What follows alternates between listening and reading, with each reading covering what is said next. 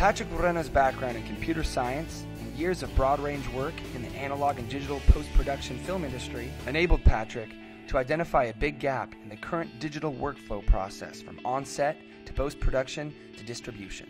I think it's about creative intent, uh, main, uh, mostly. Um, it, it's really the, the DP's idea of how the image should look like that should go on as far as possible into post production. And you're looking at images in, in editing for months, and so getting that, that moment from the film set along into, into post-production is really an important thing. That's not only a technical thing, but also a, a strong creative benefit.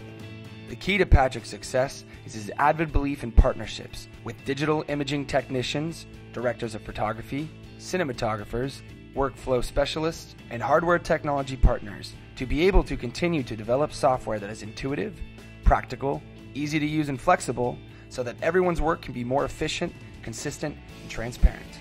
Patrick's continued passion for refining the on-set color management and color grading tools are embodied in the Pomfort LiveGrade software platform and provide users with a system that is creatively flexible and technically robust with an underlying image and metadata pipeline architecture supporting a wide range of workflows, resulting in a ubiquitous adoption on live action sets worldwide.